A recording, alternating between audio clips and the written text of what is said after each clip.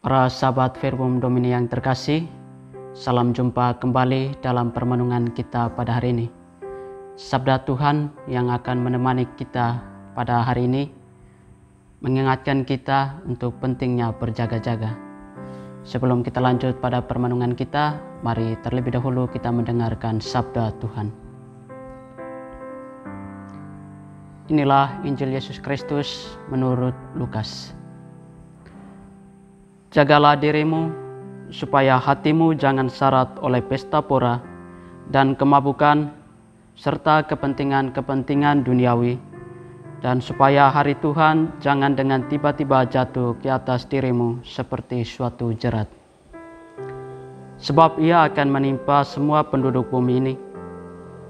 Berjaga-jagalah senantiasa sambil berdoa, supaya kamu beroleh kekuatan untuk luput dari semua yang akan terjadi itu, dan supaya kamu tahan berdiri di hadapan Anak Manusia.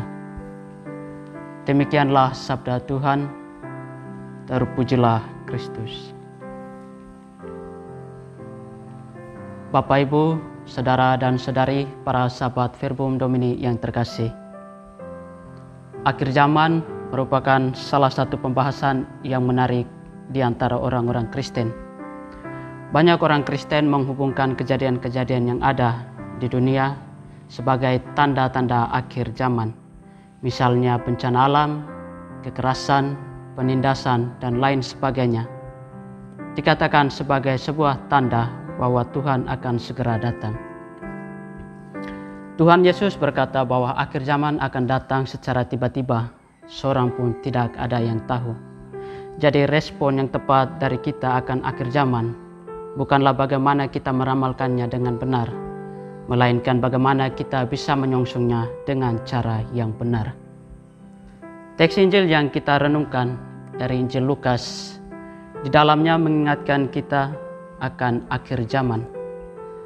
Permulaan akhir zaman ditandai dengan runtuhnya bait Allah, bencana alam yang dahsyat, munculnya nabi-nabi palsu, serta penganiayaan yang hebat kepada umat Tuhan. Tetapi setelah itu, Anak Manusia, yakni Yesus, akan datang ke dunia, dan kita akan mendapatkan kemenangan total. Segala kejahatan dan penderitaan akan dilenyapkan. Kemudian kita akan tinggal bersama dengan Dia di bumi yang baru untuk selama-lamanya. Para sesama saudara yang terkasih, itulah puncak dari dunia ini. Tetapi itu belumlah terjadi. Sekarang ini kita sedang berada di dalam zaman akhir, masa-masa sebelum berakhirnya zaman atau akhir dunia. Jangan heran jika kejahatan semakin merajalela dan dunia semakin kacau. Lukas yang adalah penginjil pendoa, tidak heran jika dalam teksnya ini saat dikaitkan dengan situasi berjaga-jaga, tidak terlepas dari yang namanya doa.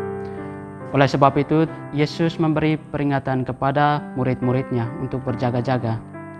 Dalam artian bahwa memandang semua fenomena di dunia ini dari sudut pandang kekekalan, bahwa suatu saat Yesus akan datang dan menghakimi semua manusia. Cara pandang seperti ini akan membuat hidup kita dengan cara yang berbeda dari orang-orang dunia. Jika mereka mencari kepuasan dalam nafsu duniawi, kita mencari kepuasan dalam mengenal Tuhan. Jika mereka membangun kekuatan dari hal-hal duniawi, kita mencari kekuatan dari Tuhan melalui doa. Para sahabat Verbum Domini yang terkasih, kira-kira apa pesan yang boleh kita petik sebagai bekal dalam perjalanan kita pada hari ini? Kita perlu menanam prinsip bahwasannya harus tetap kuat sebagaimana yang difirmankan Tuhan kepada kita, agar jangan sampai kerusakan dunia ini dan segala tentangan yang ada justru membuat kita larut di dalamnya. Yesus bersabda, langit dan bumi akan lenyap, tetapi perkataanku takkan berlalu. Inilah panduan bagi kita untuk senantiasa bersandar pada firman Tuhan di dalam kehidupan sehari-hari, apa pun dan kesulitannya. Namun berjaga-jaga juga bukan berarti kita harus berusaha mati-matian untuk layak di hadapan Tuhan supaya keselamatan kita tidak hilang. Alkitab menyatakan bahwa kita diselamatkan hanya oleh anugerah dan itu tidak akan mungkin terlepas dari hidup kita. Dengan jaminan ini, kita tidak akan mungkin mau ikut larut dalam arus dunia karena kita telah memperoleh apa yang jauh lebih baik dari itu semua. Semoga rahmat Tuhan membantu kita.